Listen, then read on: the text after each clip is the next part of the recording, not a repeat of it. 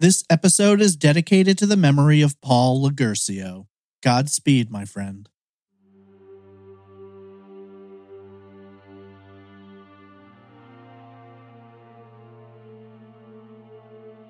Twenty-eight-year-old Lola Katherine Fry was in the midst of a massive change in her life. She quit her job, packed up her belongings, and moved out of Indianapolis, heading to live with her sister in Fort Wayne. She wanted to go back to school, put her life together, and begin fulfilling her dream of finding love and building her own family. One weekend in November of 1993, she made the drive back to Indianapolis to grab the last of her possessions. Hanging around her old stomping grounds, she visited family and ran into a few friends. She decided to attend a party at a local apartment rented by her then hairdresser. It was supposed to be a fun night, a sort of last hurrah, but it quickly turned tragic as no one ever heard from Kathy again after that night. The Indiana State Police kicked off their investigation and soon learned that something about the party that night simply didn't make sense. Over the years, they began to unravel the lies and deception, getting down to the dark and disturbing core. However, more than 30 years later, no one has ever been charged with a crime, and neither Kathy nor her car have ever been found. This is Trace Evidence, Episode 238 The Vanishing of Lola Katherine Fry.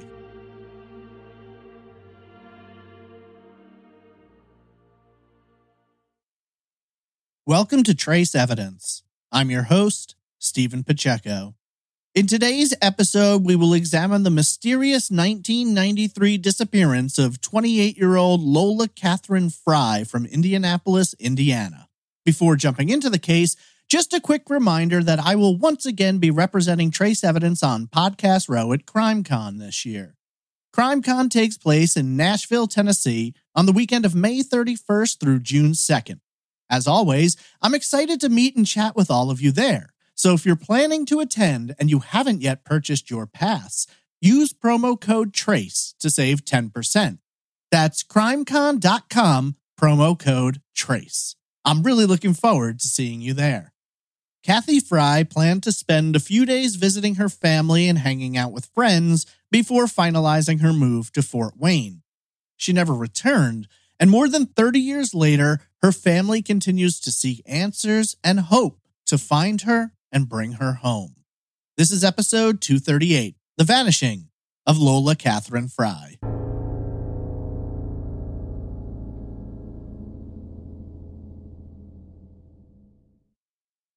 Lola Katherine Coleman was born on Saturday, February 20th, 1965, to parents Vernon and Delphia Dale Coleman.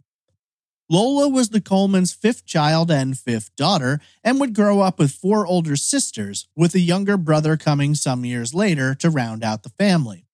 For the most part, she'd be referred to by her middle name, with friends and family calling her Kathy or Cat throughout the majority of her life. In her childhood, Kathy was very quiet, with her sisters later describing her as shy and even timid. At the same time, she loved goofing and clowning around with her sisters. Oftentimes, she'd get into their mother's closet and throw on odd combinations of clothing, walking around the house like a fashion show runway, showing off different silly looks. According to Darlene, one of her sisters, Kathy was a girly girl who, like her sisters, loved dolls and dressing up. She would often play house with her siblings and their only clashes would arise when it came to the question of which one of them would get to play their mother. Kathy grew up in the city of Greenwood, located in Johnson County and along the southern rim of Indianapolis. She spent a great deal of time with her sisters, Kim, Laverne, Darlene, and Carol. In 1970, when Kathy was five years old, her parents welcomed their last child, a son named Christopher Daniel. According to the family, Kathy doted on her little brother from a young age and would later play a major role in helping to raise him. Kathy and her siblings would attend elementary school and middle school in Center Grove. She would then go on to attend Lawrence North High School, where she would meet and fall in love with a young man named Martin Fry. Following the completion of her sophomore year, Kathy dropped out and later that year the two would marry, moving to Texas. Kathy was happy with the arrangement, having always wanted to start a family of her own. However, the nomadic nature of being married to a man in the service didn't necessarily line up with Kathy's plans to build a family and settle down. Just a few years into the marriage, it became clear that things weren't going to work out, and the two officially divorced. Following the dissolution of the marriage, Kathy returned to Indiana and moved in with her parents. While the marriage hadn't worked out, she maintained her ex husband's name and never changed it back, from that day forward being known legally as Lola Katherine Fry. In a sudden and shocking moment, the family's life was transformed when Kathy's mother suffered a massive stroke that ultimately rendered her paralyzed on the left side of her body. Kathy, along with her sister Laverne, took it upon themselves to step in and assist with all of the responsibilities that Dale was no longer capable of keeping up with. As a result, Kathy became extremely close with her younger brother, with the family later noting that she was more like a mother to him than a sister. She always looked out for him and made sure he was doing well. And whether she was working or busy otherwise, she always made time for family. She frequently dropped in to help out and would check in on everyone, and if she couldn't make it there in person, she'd call. According to the family, Kathy would call multiple times a day, and it was just the norm to hear her voice on their parents' answering machine. Her mother would later explain to the Daily Journal, saying, quote, Danny was 12. Kathy jumped in and took care of Danny. Kathy put her whole life on hold, plus took care of me. I don't see her going one day without calling me or Danny. I know if she was able, she would call us. End quote. By the early 90s, Kathy was in her mid 20s, and while she still dreamed of marrying and having a family, her previous experience left her somewhat gun shy. Uncertain of what to do, Kathy ended up talking to her older sister, Laverne, who at the time was making good money working as an exotic dancer. Kathy had always been attractive, but at this time in her life, a lot of people referred to her as a beauty queen frequently making references to her striking similarity to Hollywood starlet Morgan Fairchild. At first, it was a difficult decision for Kathy, who'd always been quiet, shy, and reserved. However, by this point in her life, she had come out of her shell and was much more lively, open, and socially involved. Her sister Darlene would later say on the Unfound podcast that Kathy had really come into herself and the quiet child she was had given way to a vibrant and confident woman. During this time, she grew close to her nieces and nephews, who she treated as if they were her own kids. She frequently picked the kids up and took them out on adventures, whether it was playing mini golf, going to the movies, or just exploring the park. They loved their time with her, and she cherished every moment she had with them. In a way, it was bittersweet she had such strong motherly instincts and wanted so badly to have her own children, but she'd never get that chance. Working at different clubs and bars, Kathy would end up employed at PT Show Club located at 7916 Pendleton Pike in Indianapolis. PT's describes itself as Indianapolis's number one rated strip club and at the time was owned by Bradley Dean Hurst, who owned multiple clubs in the area, including Brad's Gold Club and Brad's Brass Flamingo. According to Darlene, she was really surprised to see Kathy take to the stage, and later, when she asked her little sister how she'd found the courage to do it, Kathy had wryly admitted that she'd needed quite a few drinks before she dared climb on that stage for the first time. As time went on, Kathy became more comfortable but the lifestyle of an exotic dancer wasn't exactly conducive to taking proper care of herself. Having been single for a while, Kathy ended up befriending one of the locals at PT's.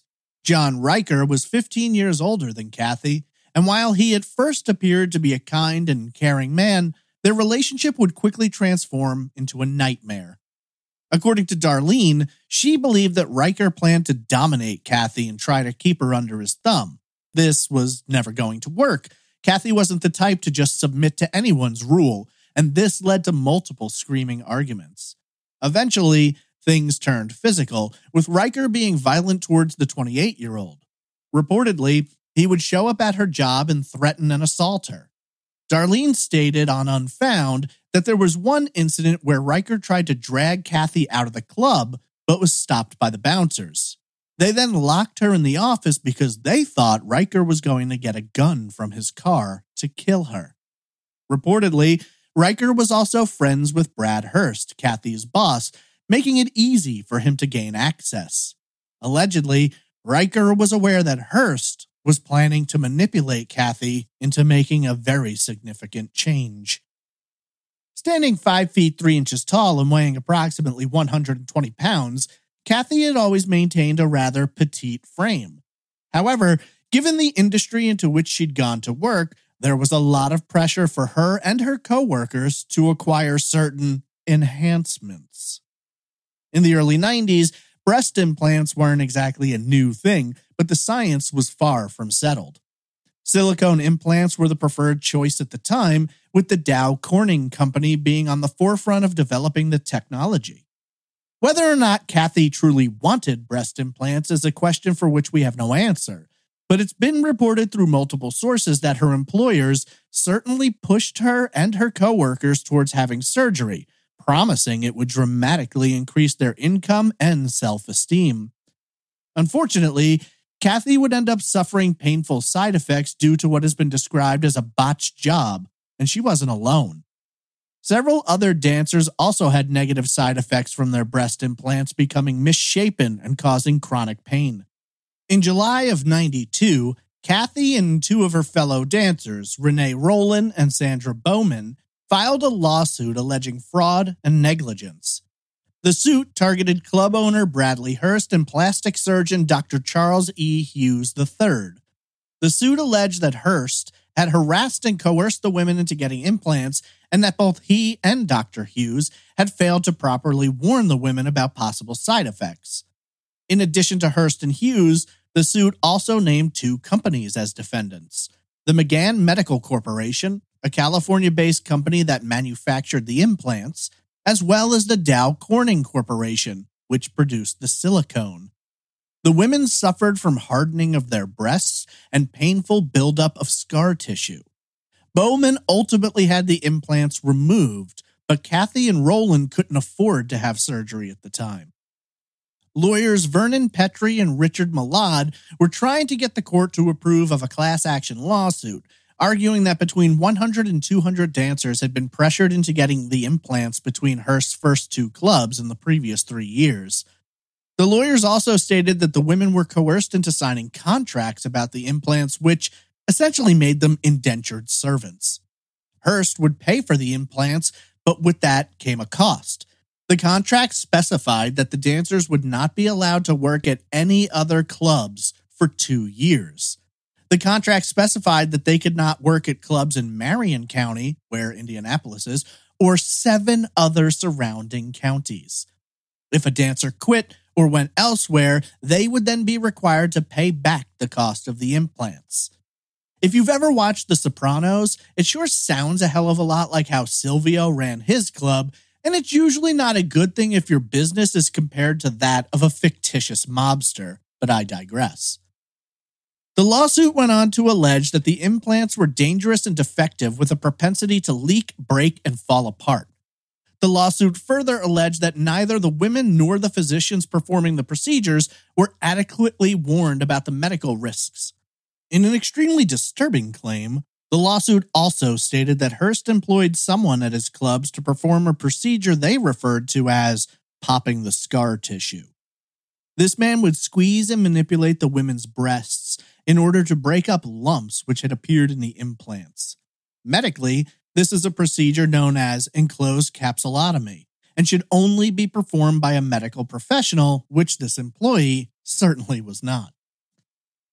This ultimately was split into three separate lawsuits one against Hurst, one against Hughes, and one against Dow Corning.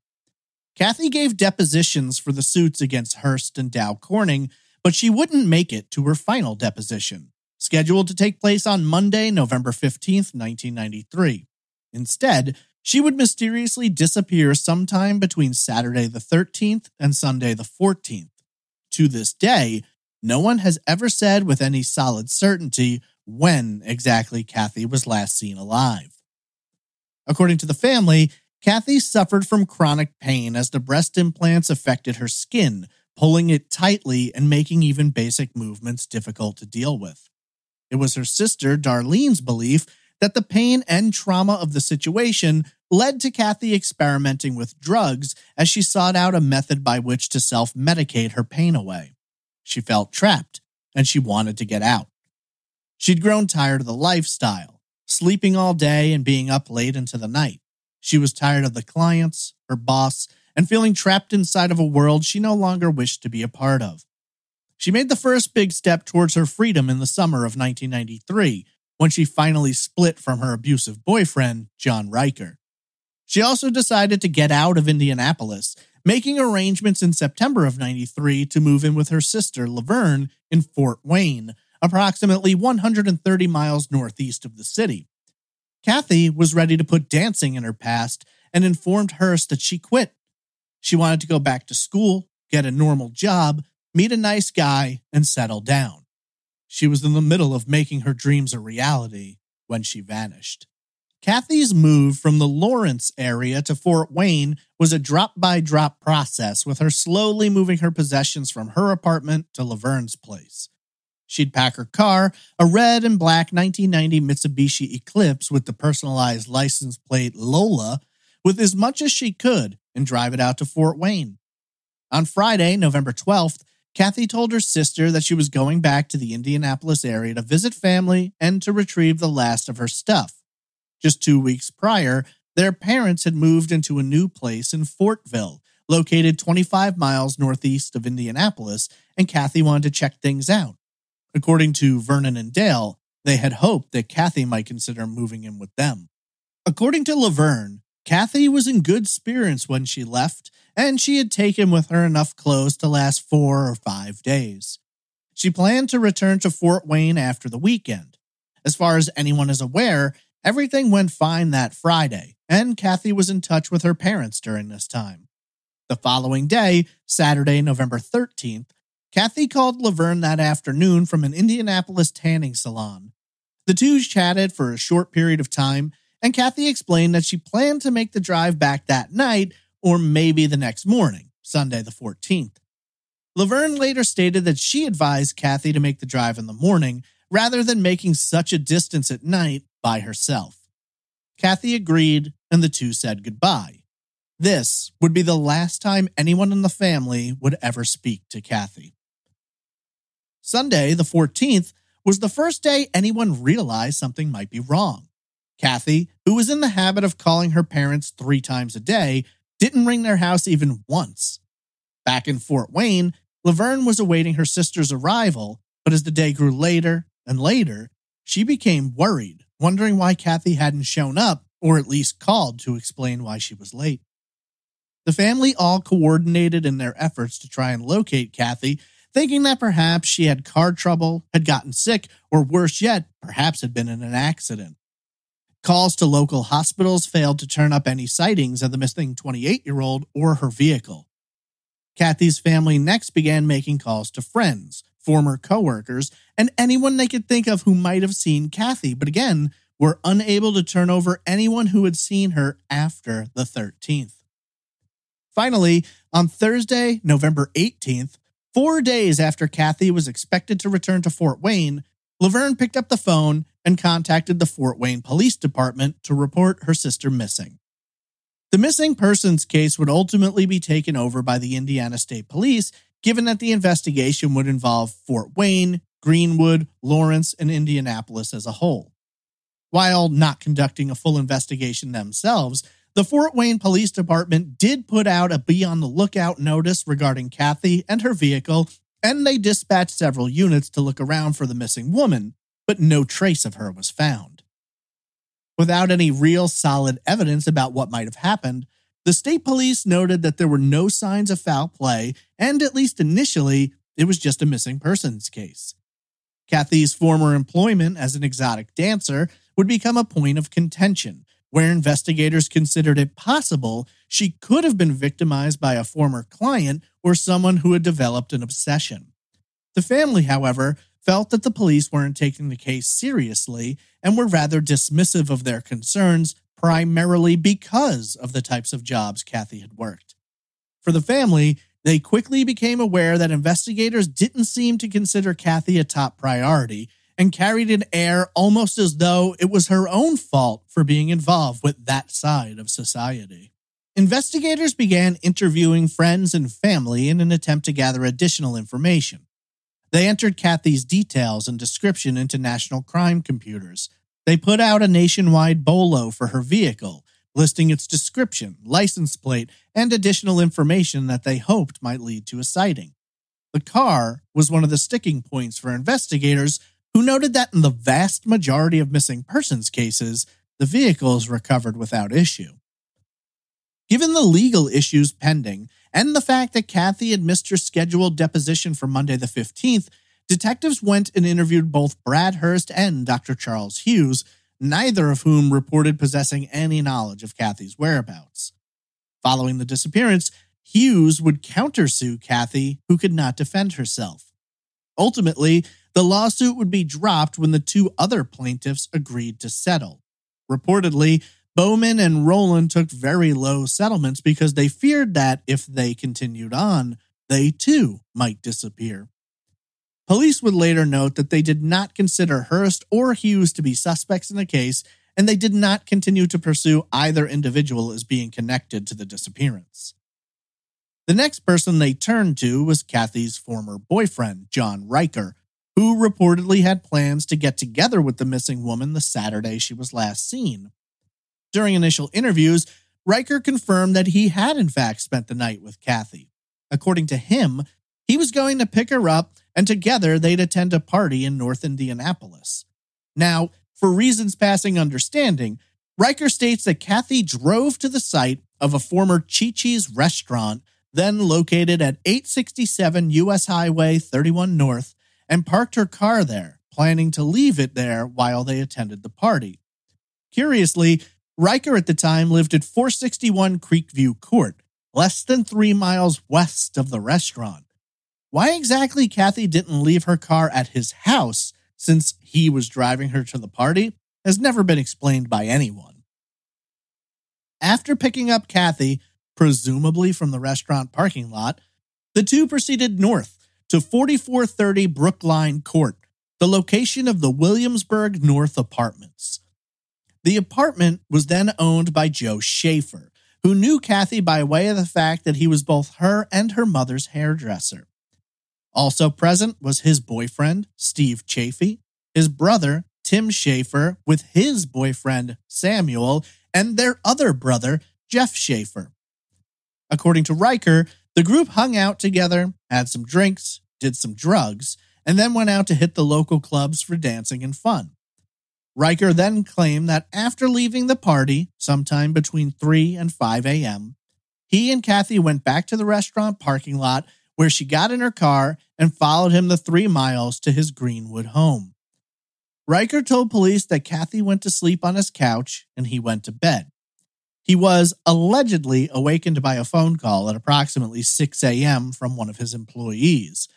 Ryker showered and left the house at 7:30 a.m. to let his employee into a local business to which he had the keys. Returning around an hour later at 8:30, Ryker stated that both Kathy and her car were gone, and he assumed that she had begun the drive back to Fort Wayne. Investigators at the time weren't sure what to make of the account, as on the one hand, they had no information to contradict it, but on the other, it didn't really make sense to them. As a result, Police would make requests to search both Ryker's home and his business, as well as asking him to come in for a polygraph examination. Neither of the searches yielded any evidence or information that would have tied Ryker to the disappearance. The lie detector test took place on Monday, November 29th, and was reportedly inconclusive. However, during her interview on Unfound, Kathy's sister Darlene stated that Ryker had failed the test on the 29th as well as two additional tests conducted later. She alleged that the two questions Ryker continued to fail on were Did you do something to Lola Katherine Fry? and Did you kill Lola Katherine Fry? In order to follow up on Ryker's claims about the party, police tracked down and interviewed each of the other men reported to have been present. They told a story consistent with Ryker's, saying that they had partied at the apartment, went clubbing, and then went back to the apartment before heading home separately. Police began to wonder if something untoward might have occurred at the party, but none of the attendees had any additional information to provide. From there, if Ryker's story was true, they were left wondering if something might have happened to Kathy along the 140 miles between his Greenwood home and Laverne's place in Fort Wayne. However, they had no real area to search or specific details to run down. From this point forward, the case starts to grow cold as investigators find themselves with little to work with. Turning to the media, they report on Kathy's disappearance and provide photos of her as well as her car, at which time they requested assistance from the public. The family, for their part, launched their own searches, produced flyers, and did the best they could to paper the area with information about their missing sibling and daughter. Curiously, Darlene noted, neither she nor the family were ever contacted by John Ryker or anyone else who offered to help search or provide support or information. According to her, the one time Ryker did speak to the family, he told them the same story about Kathy being gone when he woke up on the morning of the 14th, and none of them believed it either. Sergeant Ron Bruce of the state police was the first investigator put in charge of Kathy's case, and less than a month after she was reported missing, in December of 1993, he explained to the Daily Journal, quote, This was a very, very close family, and for her to miss it was very unusual. We don't have any reason to suspect foul play, except that she called her family almost daily and hasn't done so for three weeks now. End quote. Bruce went on to state that investigators had received a ton of calls since the story was put into the papers, many of which were people who alleged to have seen Kathy's vehicle in the days and hours following her disappearance. While there were no solid signs of foul play, over the course of the next few months, there were several details that caught the attention of detectives. First and foremost, no one in the family ever heard from Kathy again after Saturday, November 13th. The 28 year old, who was extremely close with her family, then went on to miss both Thanksgiving and Christmas, major holidays for the tight knit group. In addition, police noted that $1,500 left behind in Kathy's bank account was untouched. Her license plate expired and was not renewed, and no payments were made on her car following the 13th. A few months after her disappearance, Kathy's driver's license was suspended, when she failed to pay off a ticket she had received the weekend before she disappeared. Sergeant Bruce stated that it was very out of character and extremely odd, saying, quote, It's like she vanished. We haven't ever found her or her car. It's just a mystery. End quote. The lack of solid evidence did little to dissuade the family, who firmly believed that Kathy had been the victim of foul play. In an attempt to do more, Laverne quit her job and devoted all of her free time to working on the case, which was haunting the family. Carol, another of Kathy's sisters, was disturbed by powerful recurring nightmares. Darlene and Laverne worked the case from their own ends, trying to bring more awareness and to get police to dig deeper. The more time passed, the less they felt investigators actually cared about Kathy's disappearance. For Kathy's parents, it was extremely difficult. Vernon was crushed by his daughter's absence and started getting money together for the hiring of private investigators. He was of the belief that if the case was going to be solved, they would need help outside of the state police, who he didn't think were doing much. Despite the urgency of the family and their continued drive to keep the case alive, it continued to grow cold.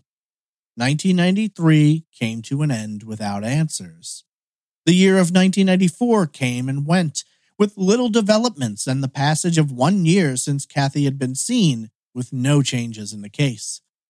In the summer of 1995, a year and a half after the disappearance, the family expressed their frustration to the media, with Dale exclaiming, quote, I just don't understand why something hasn't showed.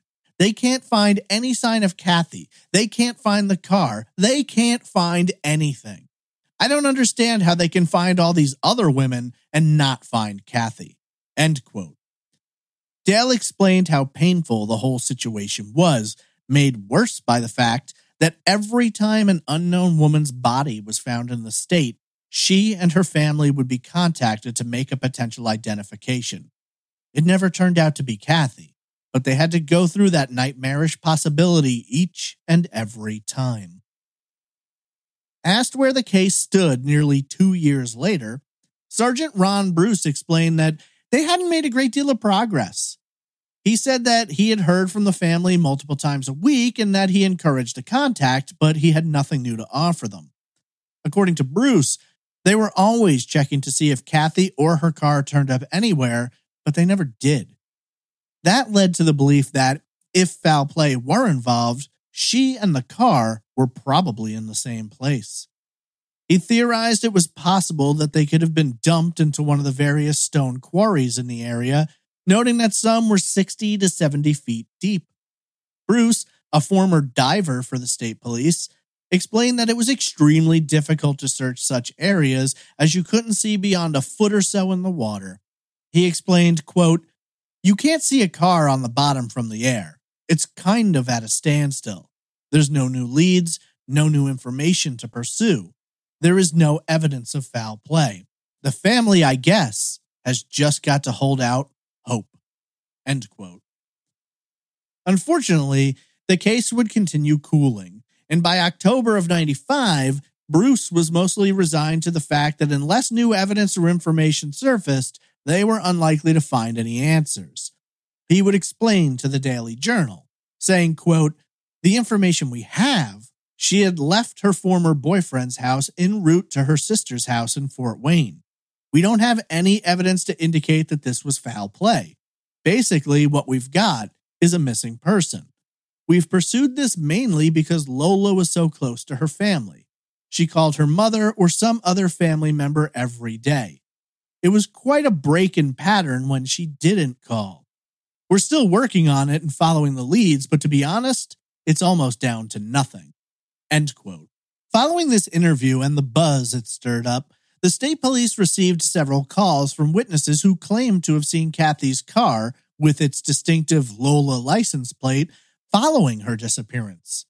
Some callers claimed to have seen the car on Interstate 69 in the area of Castleton, approximately four miles northeast from the Williamsburg North apartments where the party had been held. Another caller claimed to have seen the car parked at a nursing home downtown, and while police followed up on these tips, they could not track down the vehicle.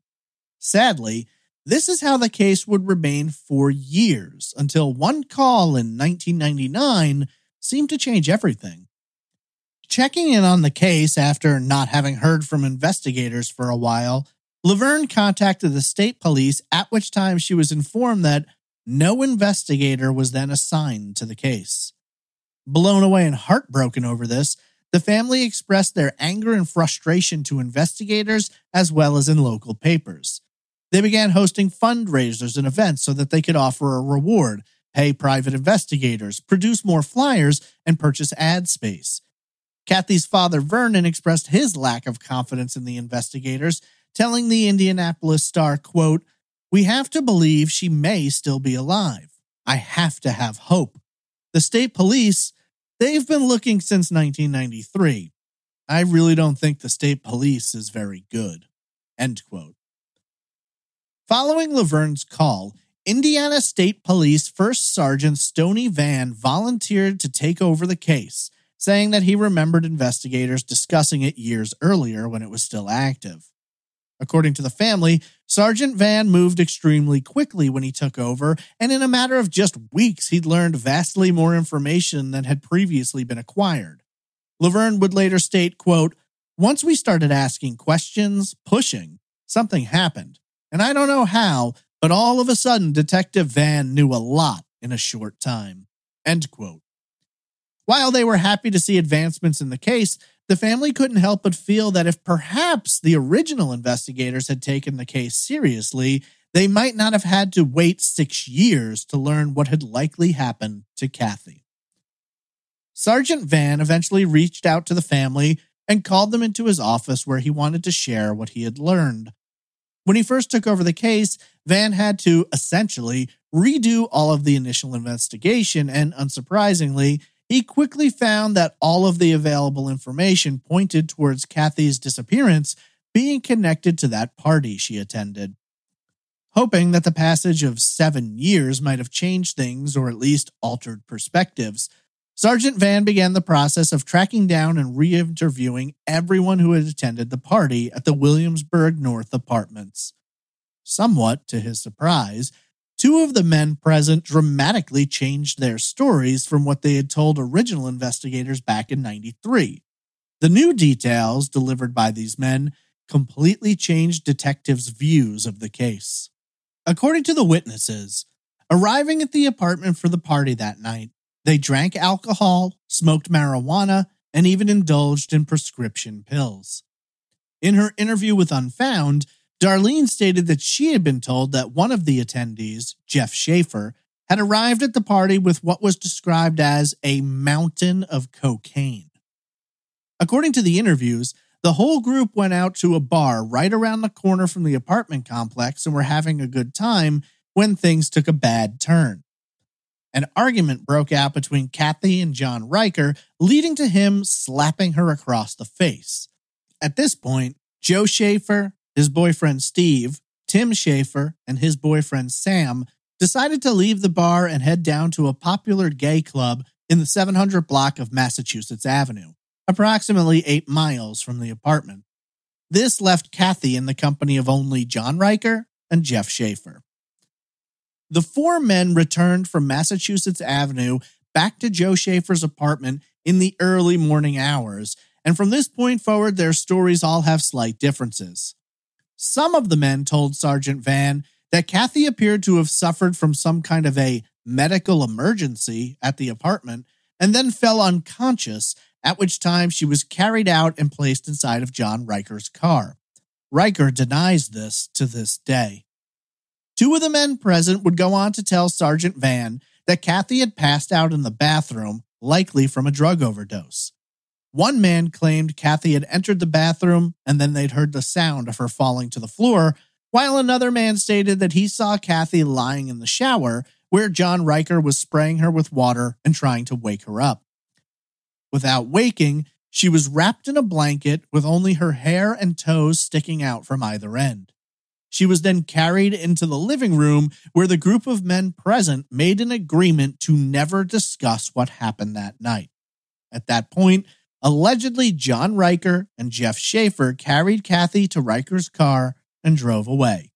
Schaefer returned to the apartment approximately two hours later without Ryker or Kathy. According to some of the men present, it seemed apparent that Kathy had likely overdosed, whether or not this was accidental or if there was foul play involved was unknown.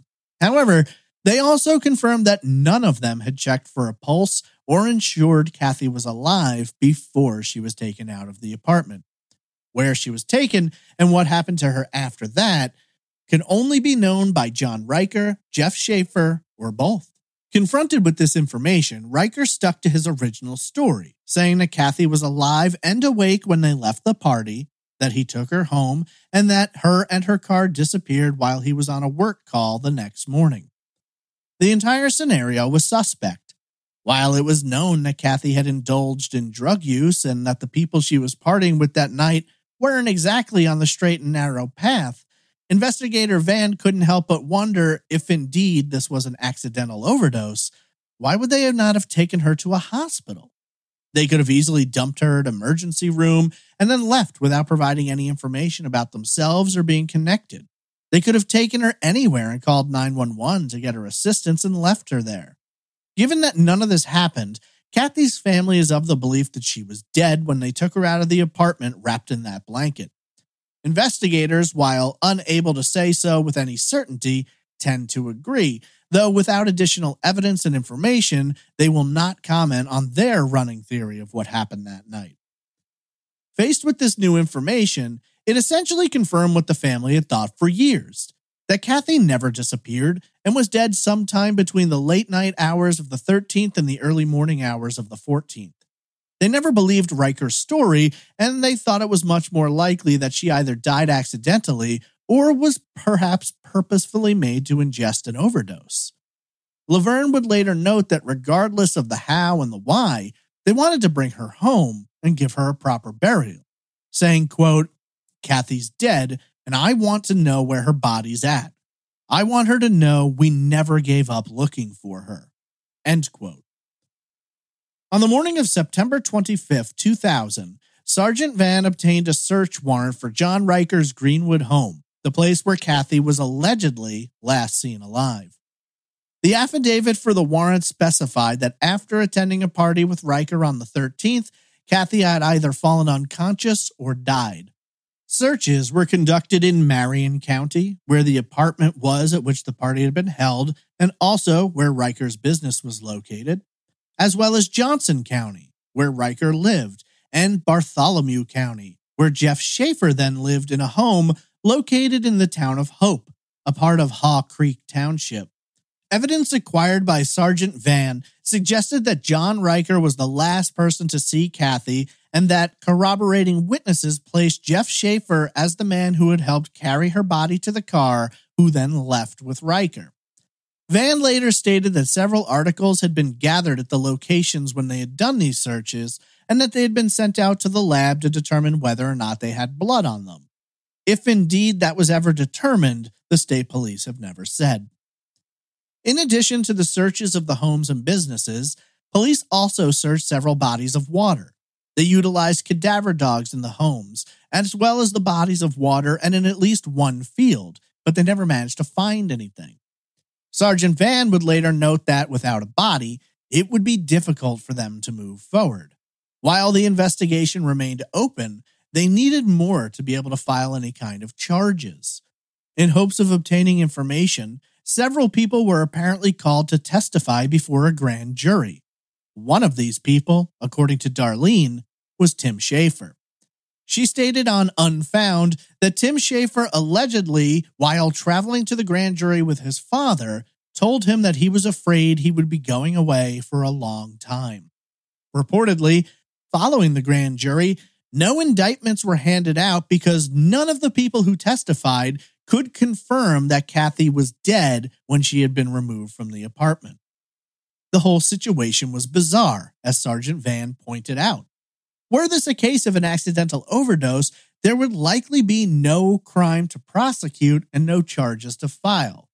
They might have been able to charge some or all of the men with improper disposal of a body or even theft of a vehicle, but the statute of limitations has since passed on both of these crimes, and still, no one has been willing to come forward with information.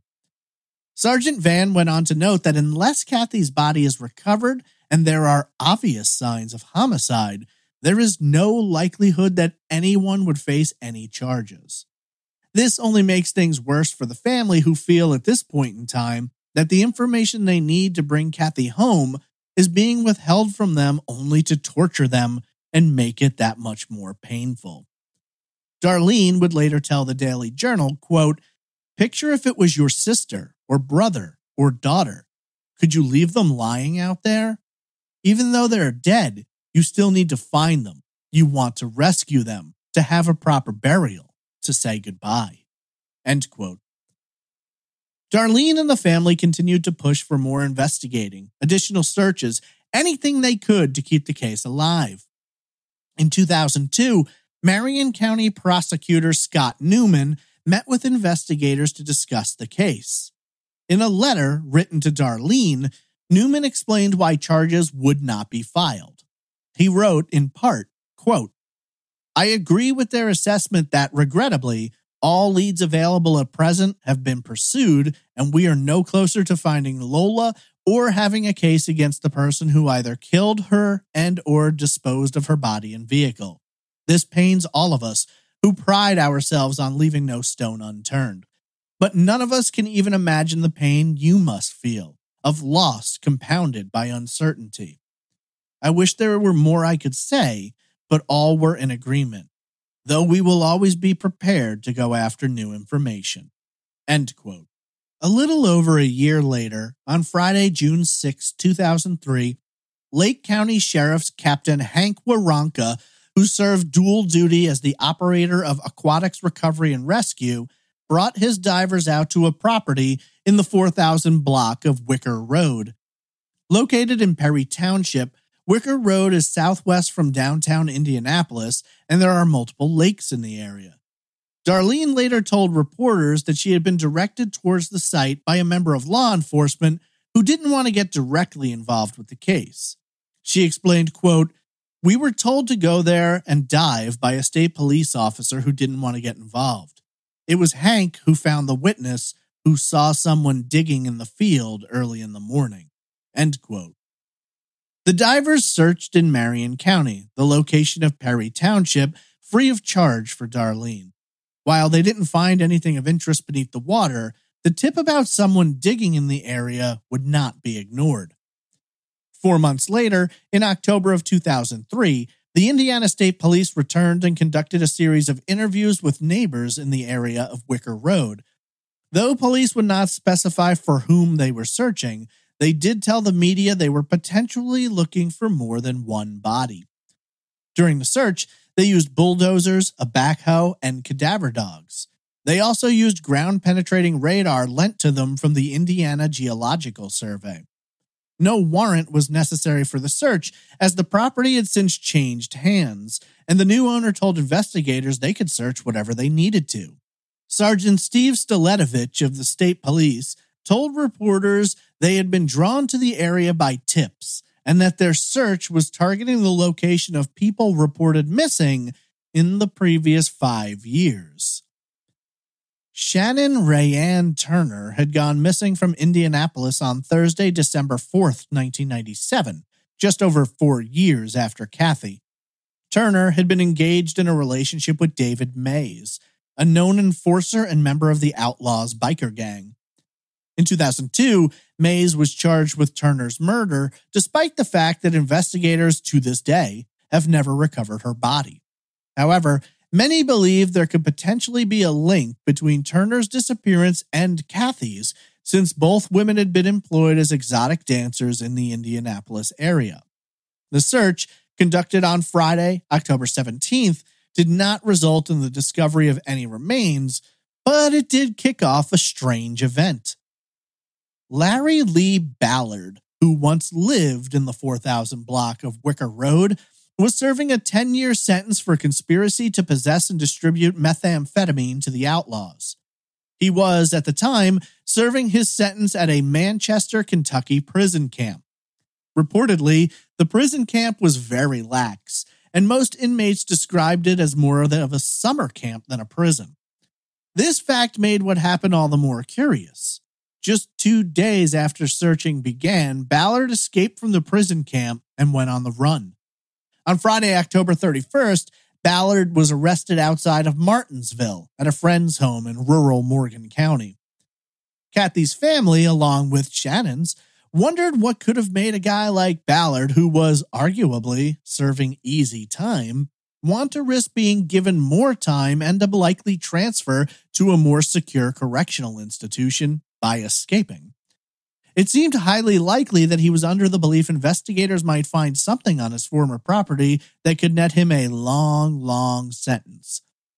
When police had initially gone to the area to interview neighbors, they had contacted the prison camp and requested that Ballard be placed in solitary confinement so he wouldn't learn of their plans.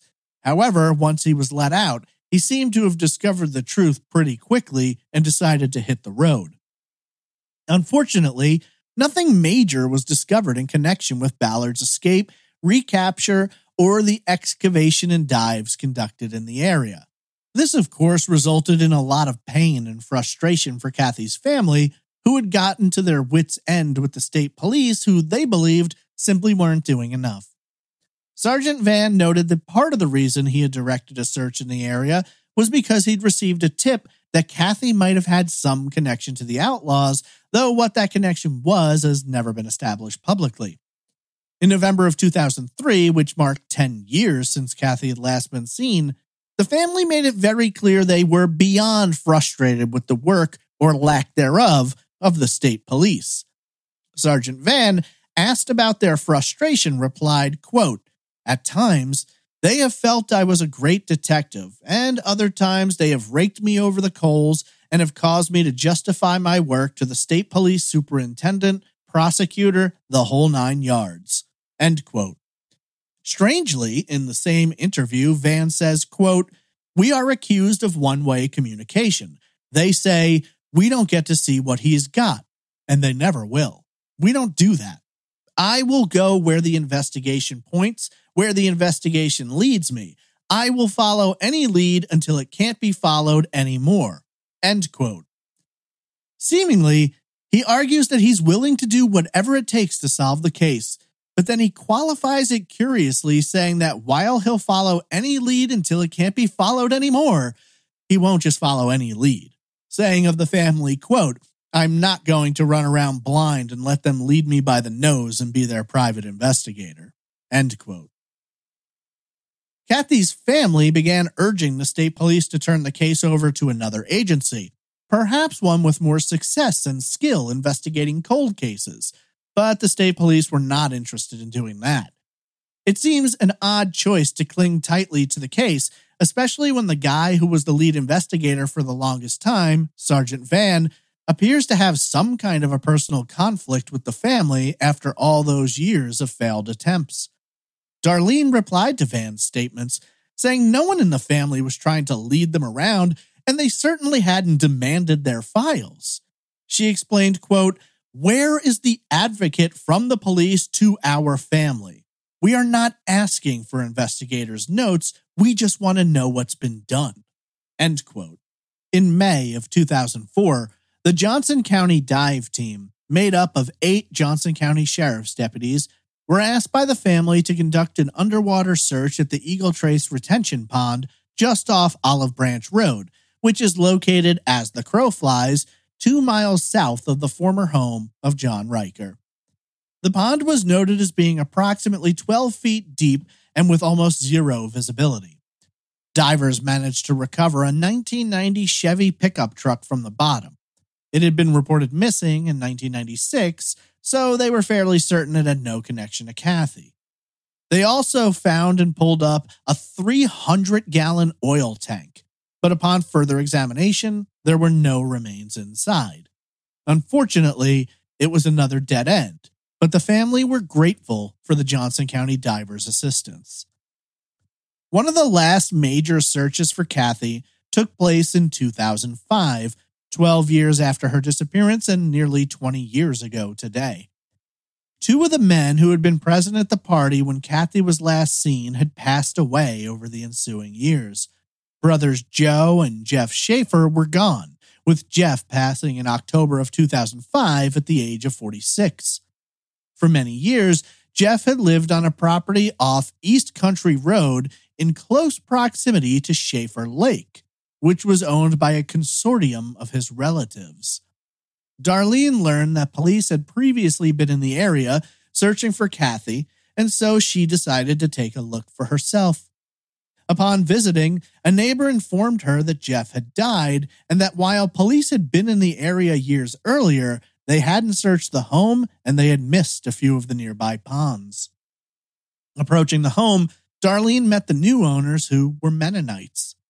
After explaining the circumstances, they invited Darlene into the home and told her they would be more than happy to allow her to search the house and whatever surrounding land they had access to.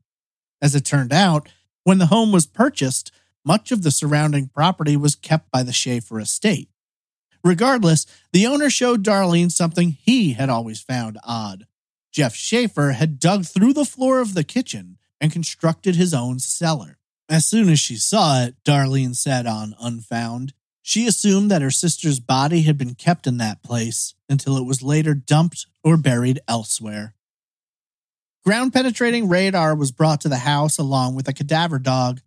The radar struck a point in the yard where an anomaly was spotted, while the dog indicated that something might be beneath a concrete pad supporting the back porch. Not wanting to impose on the family, Darlene made the choice to have them dig where the radar had gone off, and at the end of the day, it turned out to be nothing. To this day, Darlene said she regrets not also ripping up the back porch and digging beneath it. However, in the years since, the home has come under new ownership, and when Darlene inquired about digging, the owner made it clear that he wasn't about to have his back porch torn apart. In 2013, Kathy's case was added to a set of Indiana cold case playing cards to be distributed into the prison system in hopes of getting new tips or leads. For the family, however, they believe the answers are most likely to be found at the bottom of a lake on private property, that being Schaefer Lake. Reportedly, since the lake is owned by multiple people, they all must agree to allow investigators to conduct a search, and that has never happened. Whether or not Schaefer Lake holds the answers, or if it would just be another fruitless, heartbreaking search, remains unknown. When last seen, Lola Katherine Coleman Fry was described as being a white female with brown hair and green eyes, standing 5 feet 5 inches tall and weighing approximately 120 pounds. Though her name is Lola, she typically went by Kathy, Katherine, or Kat. Kathy has a scar on her right knee, a small scar on her forehead, and breast implants. She also went missing with her car, a red and black 1990 Mitsubishi Eclipse bearing the personalized license plate Lola. Kathy was last known to be present at a party at the Williamsburg North Apartments, 4430 Brookline Court in Northeast Indianapolis on the evening of Saturday, November 13th, 1993. Also present at the party were her ex boyfriend, John Ryker, Tim Schaefer, Steve Chafee, Joe Schaefer, now deceased, and Jeff Schaefer, also deceased. Kathy was 28 years old at the time of her disappearance and, if alive today, would now be 59 years old. To date, None of the living attendees of the party have come forward to offer up new information that might help the family to finally locate the remains of their beloved daughter, aunt, and sister.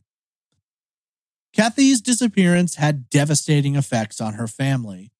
While some sisters put their lives on hold to try and search for her, other siblings struggled to confront the harsh reality, suffering from panic and endless nightmares. Kathy's father, Vernon, desperate to find answers, was taken advantage of by so called psychics and sensitives who claim to possess answers only to give vague details that grow more complex with each new check. In 2000, seven years after the disappearance, Vernon and Dale divorced, the loss of their daughter becoming an unstoppable pain they could no longer tolerate.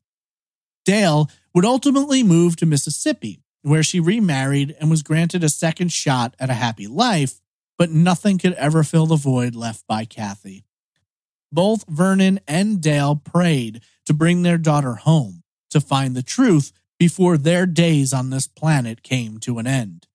Tragically, both have since passed without ever seeing a conclusion. This November will mark 31 years since Kathy Fry mysteriously vanished after heading out to a party in Northeast Indianapolis. Despite countless searches, thousands upon thousands of flyers, coverage in newspapers and on television, podcasts, and even unsolved mysteries, not a single trace of the 28 year old has ever been found. Her family continues to hope that someday they will be granted the ability to bring her home so she might receive a proper burial. They now carry the burden that laid heavily upon their parents' shoulders as they know that, without them, Kathy's story will just fade from memory. Asked about the case all these years later, Darlene replied, quote, When someone dies, you grieve it and mourn it and live with the hole in your heart. But with this, there is no closure. You don't go on because if you go on, Nobody cares. So if we forget, then she is forgotten.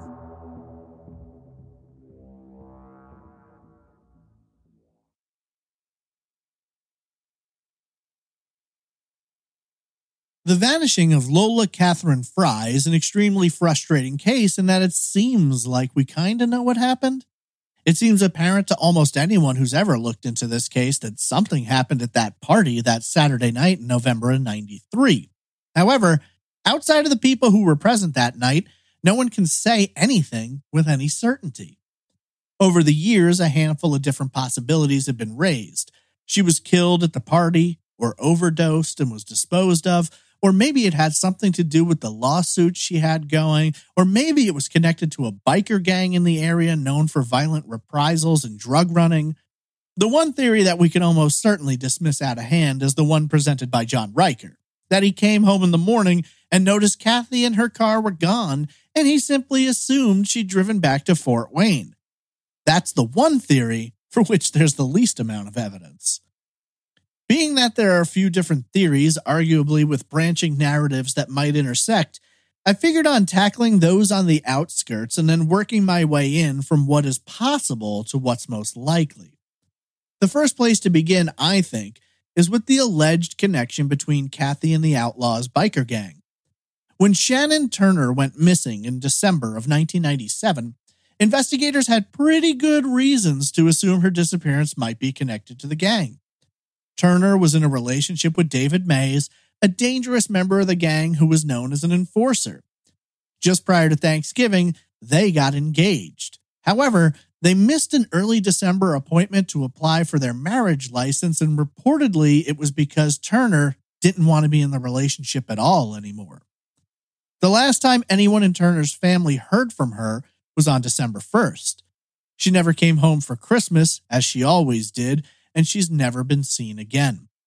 The last time she was seen, she was leaving her job at Babe's Showgirls West on Lafayette Road. At the time, her car was being worked on, so David Mays was picking her up from work. She never made it home on the 4th and has never been heard from again.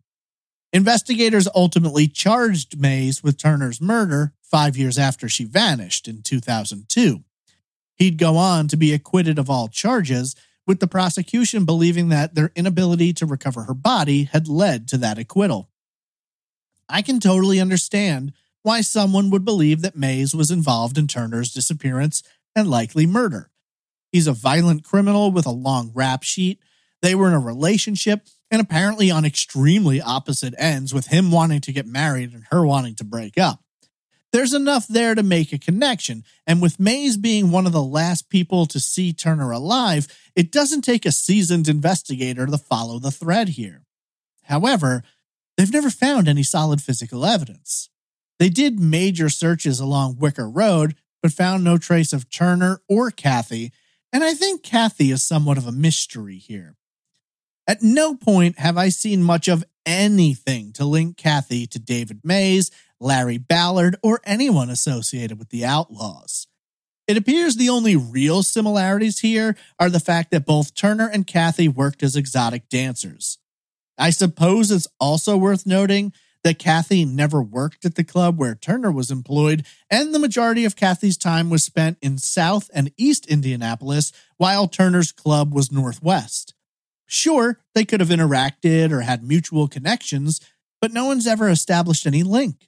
It doesn't sound like any of their friends have had any reason to associate them together, and purely, the one thing they really have in common is that they were exotic dancers who disappeared in Indianapolis, where the state police apparently don't care much about cases like that.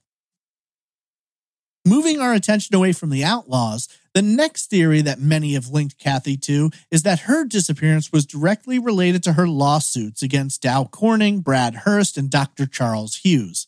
Now, I think I should note Several people who have been alleged to have had negative connections to Kathy have died, and Dr. Hughes is the most recent, passing away following a battle with Parkinson's in November of 2023, 30 years and four days after Kathy was last seen. Eerie coincidences aside, the theory kind of goes like this.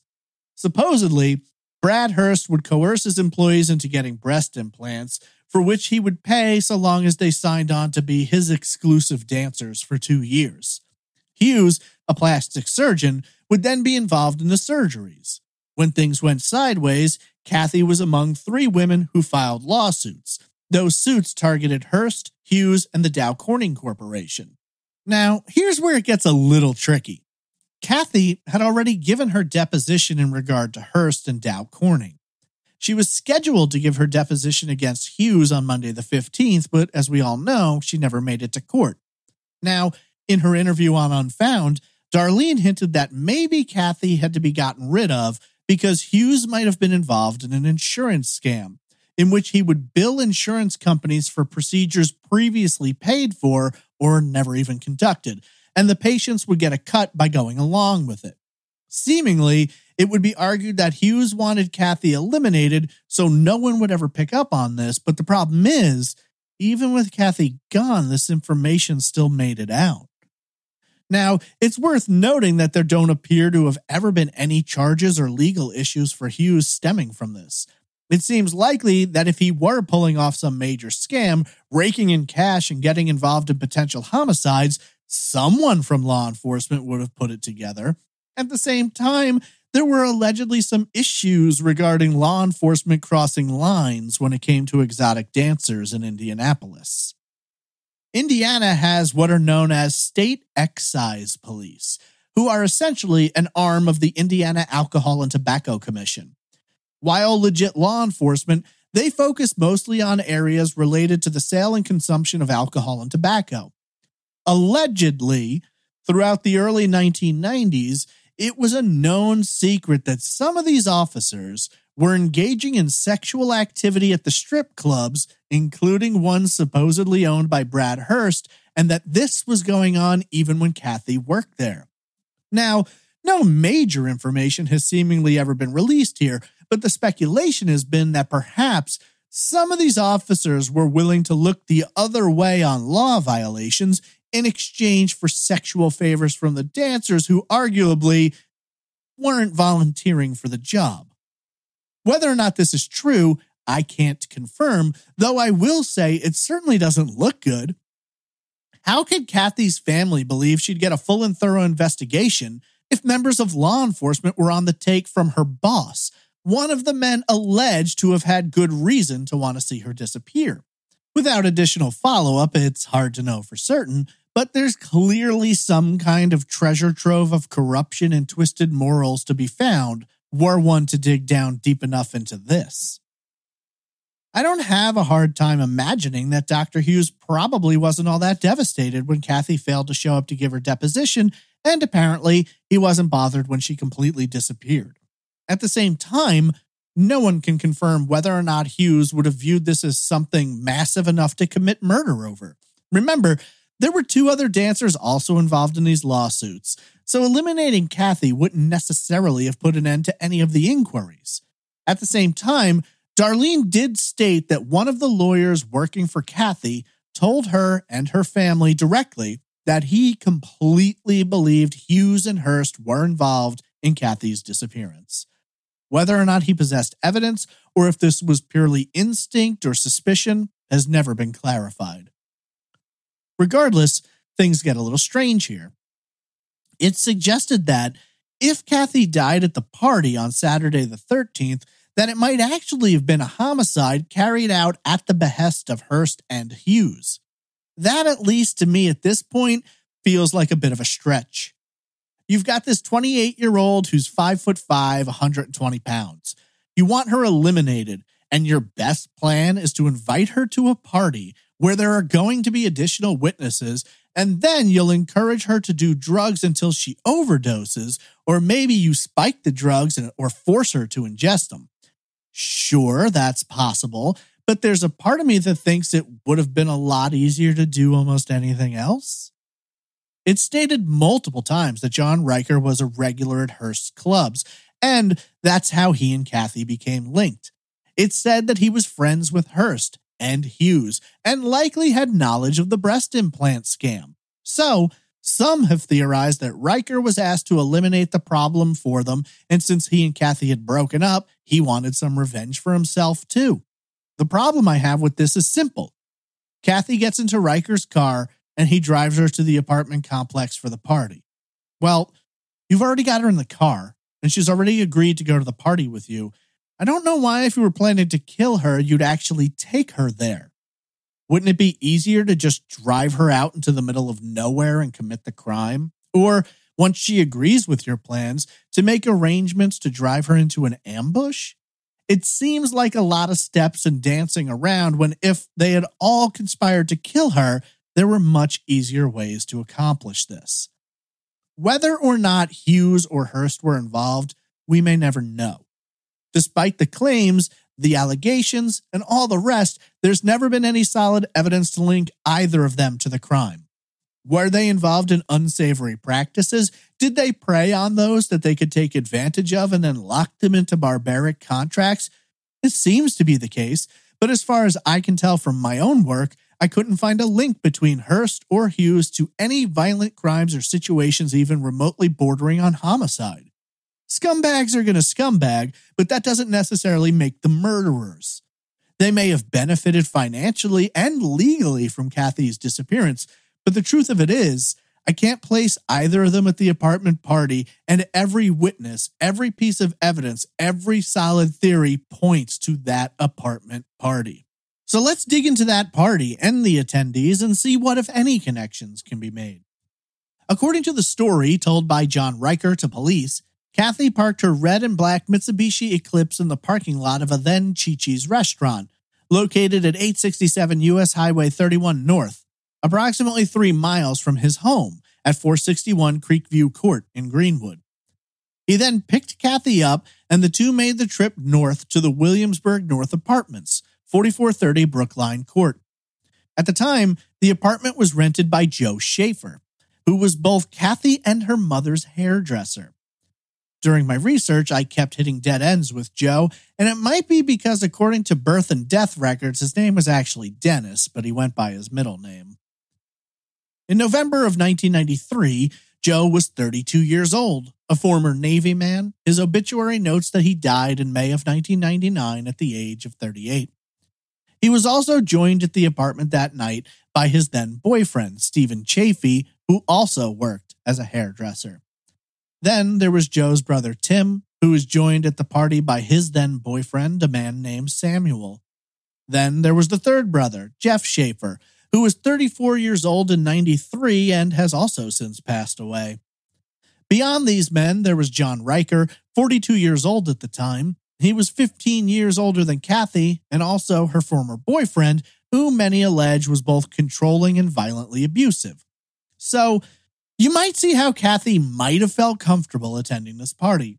Her hairdresser's there, along with his two brothers. There's two boyfriends and John Ryker. According to what's initially reported, the group partied heavily. There was alcohol, prescription pills, marijuana, and reportedly Jeff brings a mountain of cocaine. The original story says they all hung out, partied, went to a few clubs, then returned to the apartment, at which time John and Kathy leave together. Ryker tells authorities that he drives Kathy to her car, she follows him back to his house, and they spend the night. He then claims that early Sunday morning around 6 a.m., he gets a call from one of his employees and has to leave. He comes back to the house at 8:30 and Kathy and her car are both gone. This is the story he sticks to for years. And because none of the men at the party are willing to contradict him, the police can't directly prove he's lying, even though his story sounds like bullshit. However, things change in late 99 and early 2000 when Sergeant Van takes over the case. In just a few months, he manages to gather more evidence and information than had been obtained in the previous seven years, seemingly supporting the family's belief that the original investigators didn't care about this case, or at least didn't try very hard. Regardless, two of the men present at the party change their stories. By the process of elimination, we know it can't be Joe because he dies in mid 99. We know it can't be Ryker or Jeff because they never change their stories. That leaves Tim, Steve, and Sam, and there's a big part of me that doubts Tim would flip on his brothers, so it's probably the two boyfriends who speak up years later when they're no longer connected to these men. According to Van, he's told that the group all went out to a local bar, they saw a fight between Kathy and Ryker, and he slapped her in the face. Not wanting to deal with the drama, Tim, Steve, Joe, and Sam hop in a cab and travel a few miles away to a popular gay club on Massachusetts Avenue. This leaves Kathy in the company of John Ryker, who apparently just slapped her, and then there's Jeff Schaefer as well. What exactly happens between these three over the course of the next few hours has never been revealed. When again we pick up the story, the group of men have returned from the club and arrive back at Joe's apartment. They state one of two different versions of the story. Either Kathy enters the bathroom and falls unconscious, or when they come in, Kathy's already laying unconscious in the shower and Ryker's trying to wake her. Either way, it's pretty clear Kathy's incapacitated.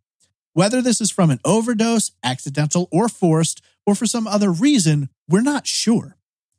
Now, at this time, Kathy's wrapped in a blanket and carried out into the living room. Then, all of the people present get together and agree that they're never going to talk about what happened here tonight.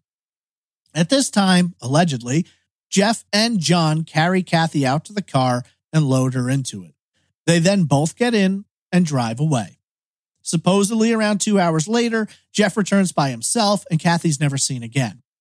Whether or not there was any conversation or discussion about what had happened has never been stated. All of this apparently happens around 5 a.m. And with the 2-hour window, it would seemingly stretch to sometime between 7 and 7:30, fitting in nicely with when Ryker claims to have left his house that morning. Ryker's home in Greenwood is 26 miles southwest from the apartment complex, and according to Google Maps, would take around 35 minutes to drive.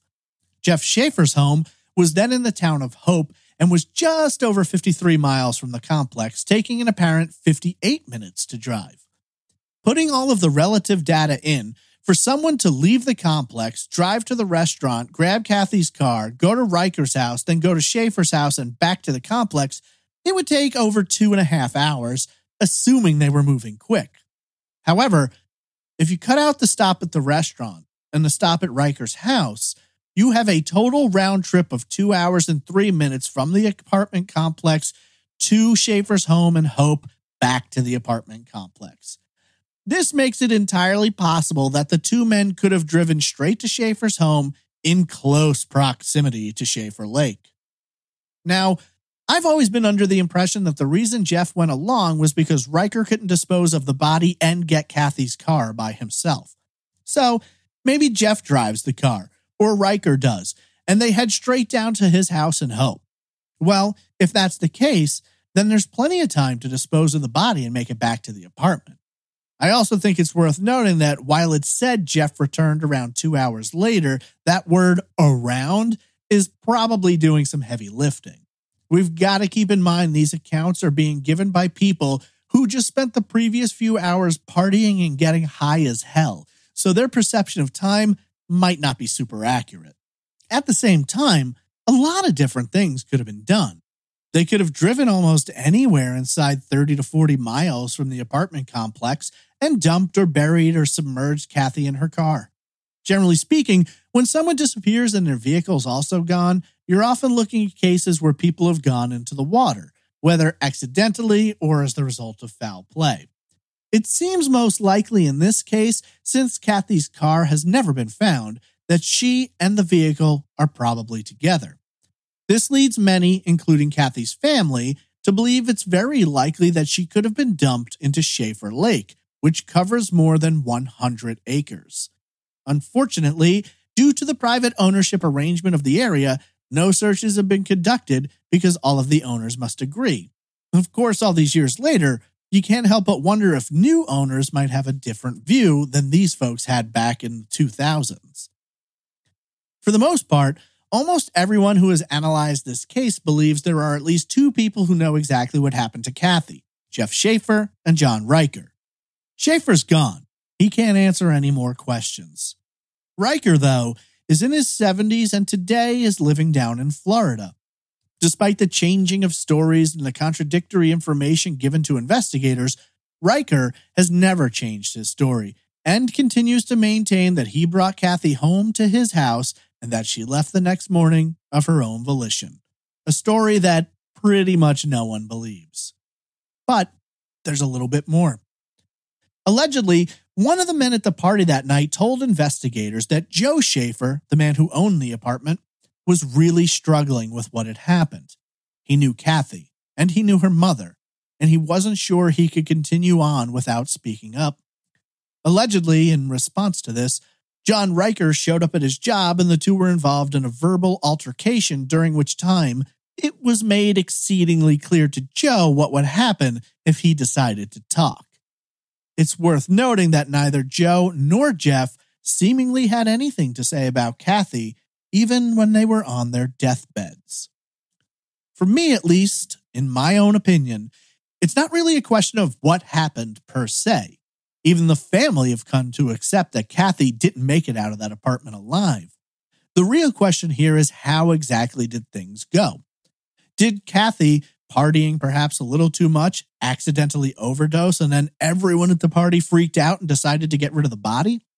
Was she maybe coerced or forced into ingesting more drugs and alcohol than she wanted and thereby was murdered through a method of purposeful overdose? Then again, you have to ask yourself how do we know she overdosed at all? If Ryker did strike her that night and the history of abuse was legit, then how do we know he didn't take it too far and ended up killing her? There are many methods he could have employed that wouldn't have left recognizable marks on the body, at least not as obvious as gunshots or stab wounds. People saw her in a blanket. They didn't check her pulse. They didn't try to revive her. That to me speaks volumes about the fact that there could not have been any doubt at the time that Kathy was dead. So, why don't you bring her to an emergency room and leave her there? Why don't you throw her out on a street corner and call 911 or leave her in a field somewhere to be found? Hell, why not bring her back to her own car, throw her inside, pour some drugs in there, and make it look like she OD'd? If this were a group of teenagers or younger folks, I could buy that they were afraid and just wanted to get rid of her. But that's not the case. They're all using drugs, they're all partying. This isn't their first rodeo. To me, the only reason you go to such lengths to hide the body, to eliminate the car, to threaten and persuade others to keep their mouths shut is because this was no accident. Kathy was murdered, and they knew if she was found, they could swing for it. That's the only way any of this makes any sense to me. And even then, you have to wonder all these years later, Half the people present are dead now. What stops someone from coming forward? Police have made it clear there are unlikely to be any charges. The family would love to see justice done, but they'd also accept the opportunity to grieve and seek some form of closure by bringing Kathy home and laying her to rest. All it would take is one call, one anonymous text or email, and you could help raise a veil that has haunted a family for more than 30 years. Her parents lost their lives without ever knowing the truth, and her sisters continued to grow older, struggling to accept the likelihood that they too may never know for sure. But they refused to give up. Surely, someone out there knows where Kathy is. Whether you were at the party that night or you've heard the story over the years, People like this don't tend to keep their mouths shut. Surely someone possesses the truth, and one day, come hell or high water, it's going to come out. Whether it's a massive search conducted by the state police or a couple of guys diving into the lake to check for Kathy in her car, you can't hold the tide back forever. But if you know something, if you've lost someone in your life, if you have felt grief and pain at someone else's absence, then you need to seek out the courage it takes to tell someone the truth about Kathy. All of that pain, that grief, the nightmares, the trauma, the horror is all on those who could alleviate this family's pain and choose not to, because unless someone comes forward or new information is found, the vanishing of Lola Katherine Fry will remain open, unsolved, and very cold.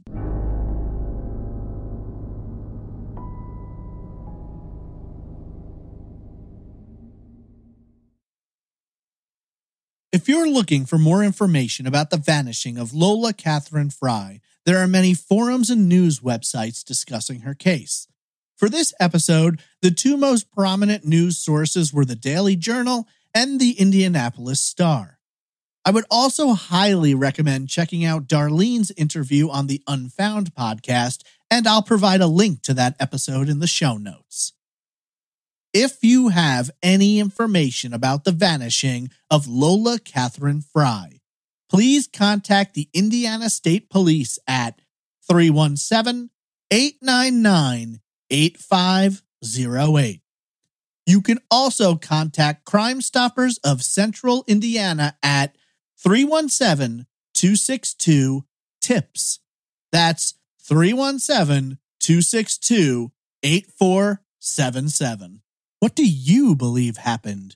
Tweet me at TraceEvPod, email me at traceevidencepod at gmail.com, or comment in the Facebook group.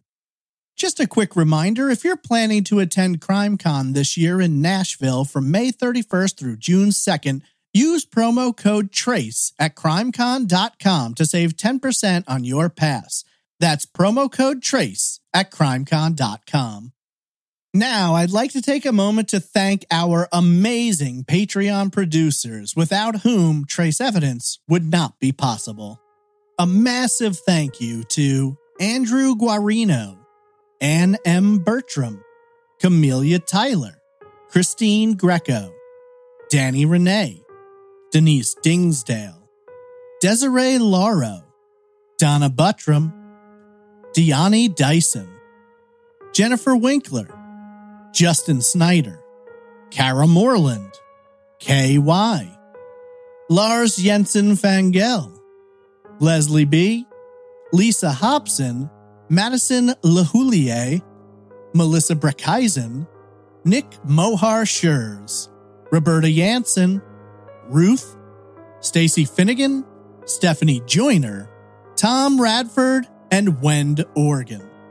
I want to thank you all so much for your support. It means the world to me, and you are truly the lifeblood of this podcast. If you're interested in supporting the show and listening to your episodes ad-free, please visit patreon.com slash traceevidence or click the support option on the official website at trace-evidence.com. This concludes our look into the vanishing of Lola Katherine Fry, a case that I believe is extremely solvable and I hope we'll see some updates on sooner than later. Before leaving you today, I just wanted to apologize for my absence these past few weeks. To make a long story short, my computer died, HP won't honor the warranty, so I ordered a new computer. It arrived broken, and then I had to order another one and send the broken one back. Basically, I've spent the past three weeks either waiting for computers to arrive or arguing with companies about them. Thankfully, things seem to be back on track now, so I truly appreciate your kindness and patience, and I hope you'll join me next week for another unsolved case on the next episode of Trace Evidence.